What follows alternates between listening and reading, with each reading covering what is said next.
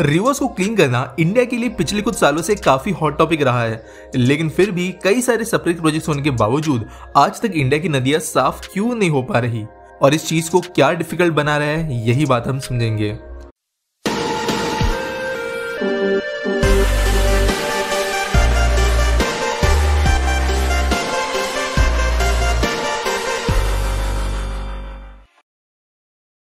दोस्तों, कुछ मेजर चीज़ें यहाँ पे हम समझेंगे जो यहाँ पर ज़रूरी है। फ़र्स्ट रिवर्स गंदी क्यों होती है? दूसरा, क्यों प्रोजेक्ट सक्सेसफुल नहीं हो पा रहे? और लास्टली पॉसिबल सॉल्यूशंस रिवर्स गंदी क्यों है? ये सवाल सुनने में काफ़ी बेसिक लगता है, क्योंकि ये सवाल वैसे काफ़ी बेसिक ही है। और जैसा हम सब जानते हैं कि हमारे देश में नदियों को खराब करने के पीछे जो सबसे मेजर रीजन है, वो है सीवेज डिस्पोजल इंडस्ट्रियल एफ्लुएंस का डिस्पोजल गार्बेज का डंप होना प्लास्टिक का वहाँ पर डिस्पोज होना, और ऐसे ही कारण नदियों को ज़्यादा गंदी बनाती है। इसके अलावा कुछ शहरों के अंदर नदियों का कोर्स डाइवर्ट कर दिया जाना, कुछ जगहों पर रिस्ट्रिक्शंस लागू करना, ये सारी चीज़ें भी नदी के पोल्यूशन को कुछ स्पेसिफिक जगहों पर कॉन्सेंट्रेट कर रही है।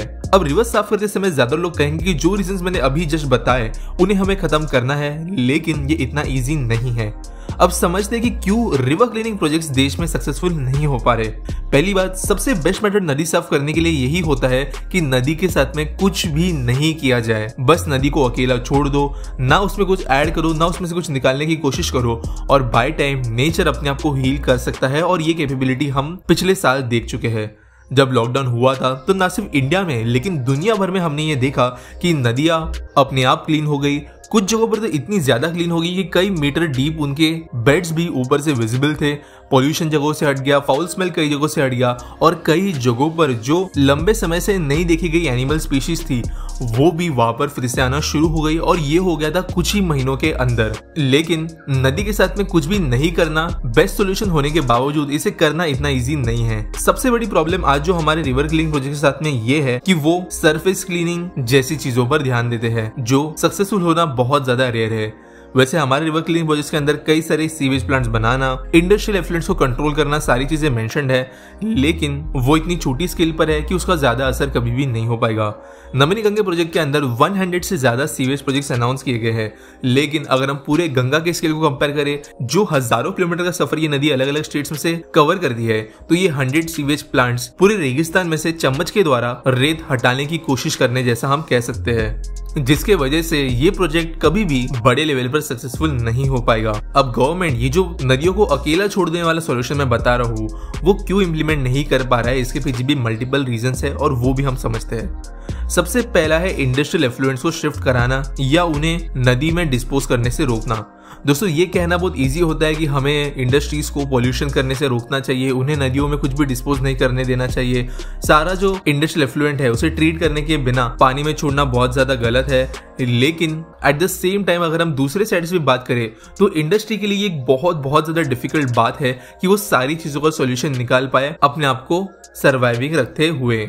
कई जो छोटे इंडस्ट्रियल पार्क्स नदी के किनारे बसे होते हैं, वहाँ पर एफ्लुएंट ट्रीटमेंट प्लांट बनाना इतना ज़्यादा वायबल नहीं होता है। वहाँ पर गवर्नमेंट अगर सब्सिडाइज भी करती है तो भी लंबे समय तक उसे मेंटेन नहीं किया जा सकता है, जिसके वजह से वहाँ की इंडस्ट्रीज़ के पास में प्रॉफिटेबली चलने के लिए सोल्यूशन नहीं बचते हैं और यहाँ पर गवर्नमेंट इंटरफेरेंस की ज़रूरत उन्हें पड़ेगी, वो भी बहुत बड़ी स्केल पर। अगर इन्हीं इंडस्ट्रीज़ के अंदर की एक और प्रॉब्लम की हम बात करें तो अगेन ये कहना बहुत सिंपल होता है कि इन इंडस्ट्री को बंद कर देना चाहिए एक्सेट्रा लेकिन एट द सेम टाइम जो कॉन्ट्रीब्यूशन आज ये देते हैं लोकल नीड्स के अंदर या फिर नेशनल लेवल पे भी। वो भी कहीं पर देखा नहीं जा सकता है। कई सारे बड़ी केमिकल फैक्ट्रीज इंडस्ट्रियल पार्क जो नदी के किनारे बसे हुए हैं, वो इन पूरे एरियाज़ के अंदर बड़े पैमाने पर अपना कंट्रीब्यूशन देते हैं। इसलिए उन्हें बंद करना एक सोल्यूशन नहीं है। अगला रीजन दोस्तों जो है वो थोड़ा पॉलिटिकल है। दोस्तों, नदियाँ ऑब्वियसली स्टेट बाउंड्रीज नहीं समझती। कई नदियाँ कई सारे स्टेट्स में से गुजरते हुए फाइनली समुद्र के अंदर एंटर होती है, जिसके वजह से अलग अलग पॉलिटिकल सिचुएशंस में से गुजरती है अलग अलग जूरिस्डिक्शन में से गुजरती है। यहाँ पर एक स्टेट इंडस्ट्रीज़ के लिए अलग कानून बना सकता है सीवेज के लिए अलग कानून बना सकता है, एक काफ़ी लाइटली ले सकते हैं, काफ़ी सीरियस ले सकते हैं। लेकिन इस पूरे चेन में अगर एक भी जूरिडिक्शन ठीक से काम नहीं करती तो उसके जैसे पूरे के पूरे डाउनस्ट्रीम में बसे हुए जगहों को इसका बुरा असर देखना पड़ता है। अगर आप यमुना नदी का एग्ज़ाम्पल लो तो दिल्ली के आसपास में इसमें ज़्यादातर पोल्यूशन होता है। लेकिन दिल्ली में हुए पोल्यूशन का अंजाम उत्तर प्रदेश स्टेट को भी भुगतना पड़ता है, चाहे उनके स्टेट के अंदर डायरेक्टली इस पोल्यूशन का जन्म नहीं हुआ हो मेजोरिटी भाग में।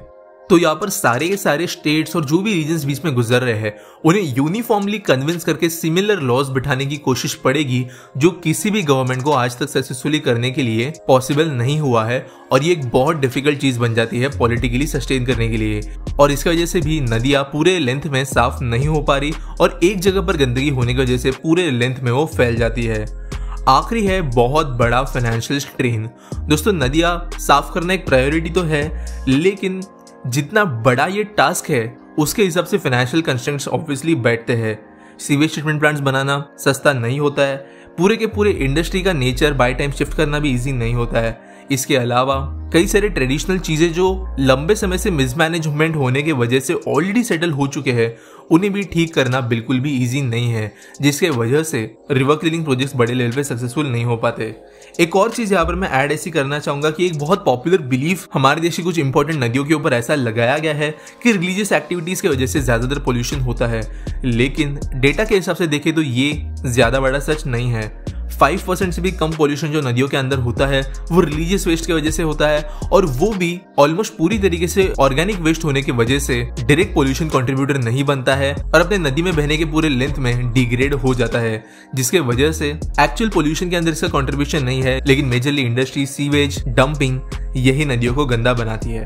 अब क्विकली बात कर ले क्या सोल्यूशन फ़िलहाल गवर्नमेंट के पास में है। पहली बात तो सारे स्टेट्स को एक साथ कॉर्पोरेट करने की ज़रूरत है, ताकि यूनिफॉर्म लॉज और एक्शंस लिए जा सके और पूरे लेंथ में नदी पर काम हो सके, ताकि एक की गलती की वजह से बाकियों को मुश्किलों का सामना ना करना पड़े। दूसरी बात मॉडर्न टेक्नोलॉजीज़ में इन्वेस्ट किया जाए, ताकि सोर्स पर चीज़ें साफ़ रखी जा सके। दोस्तों sewage treatment plants industrial cleaning plants ये काफ़ी ज़्यादा पुरानी टेक्नोलॉजीज़ हो चुकी है और इनके अंदर मॉडर्नाइजेशन लाने की ज़रूरत है, ताकि कम पैसों में ज़्यादा फास्ट तरीके से और छोटे स्केल पर भी ये चीज़ें इंप्लीमेंट की जा सके। और आखिरी सोल्यूशन यही बचता है कि ये दो चीज़ें करने के बाद में उन्हें अकेला छोड़ दिया जाए, ताकि अपने आप नेचर खुद को हील कर ले। तो दोस्तों, आज की वीडियो थोड़ी अलग थी। अगर आपको पसंद आई होगी तो लाइक करना सब्सक्राइब करना और मिलेंगे अगले वीडियो में।